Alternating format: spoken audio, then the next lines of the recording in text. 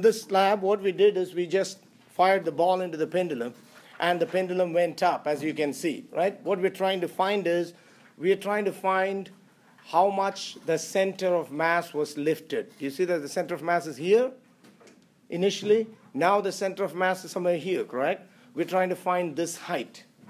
We're trying to find that height using the angle. So that's the height. The length of the pendulum is L, which is the same here. You can see that is the length of the pendulum, isn't it? To the center of the mass, and this is also the length of the pendulum. So you see a right angle triangle there, don't you? See a little right angle triangle there. This is the angle that you measured. I know it's not so clear, but that, isn't that the angle that you measured? So you got your average angle. From that angle, we're going to calculate the height.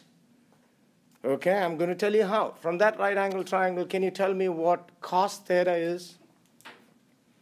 That is theta. So what is cos theta?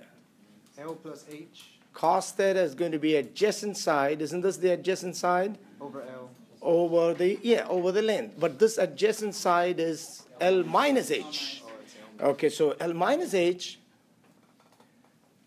okay, in triangle A, B, C, if you can see it, cos theta is L minus H by L. So rearrange that. L cos theta is L minus H. We're trying to find height. We got it. So that's the equation for height. Stop. That's the equation for height.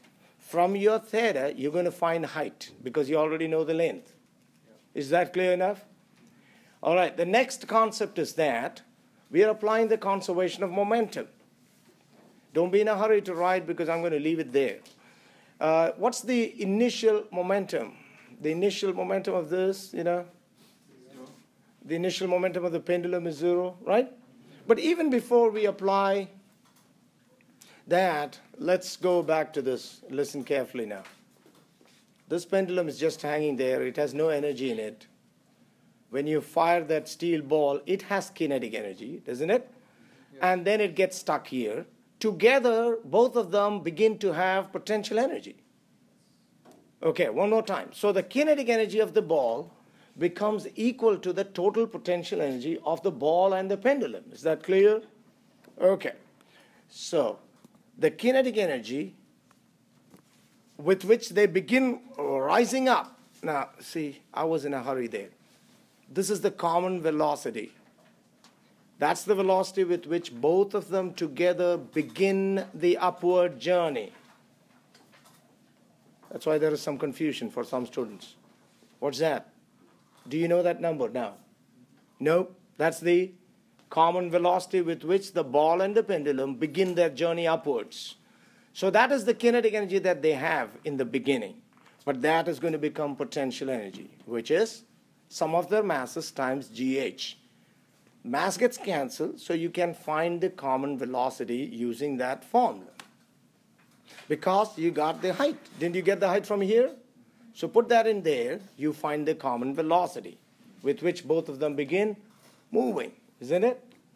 Okay. Now the last part, apply the conservation of momentum. That is the momentum of the ball, mass of the ball times velocity of the ball, which we are trying to find.